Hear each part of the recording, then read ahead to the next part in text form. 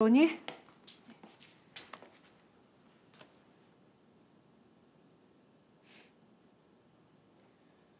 장수아, 그거 정우혁이 준 인형이지.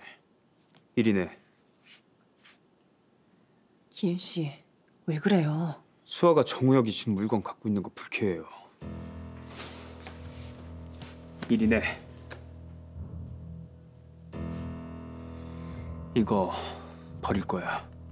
안 돼요. 아빠, 버리지 마요. 정우혁이 준 거 싹 다 버릴 거야.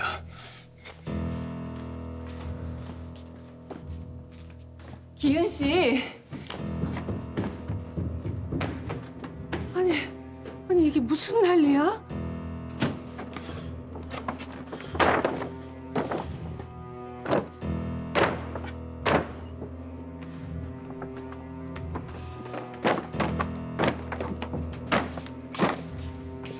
아빠, 제발요.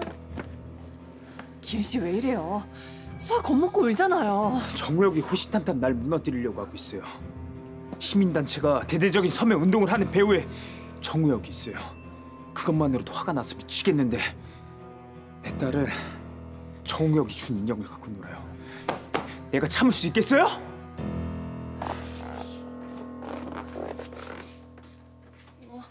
수아야, 어, 괜찮아, 괜찮아, 괜찮아. 안 돼요.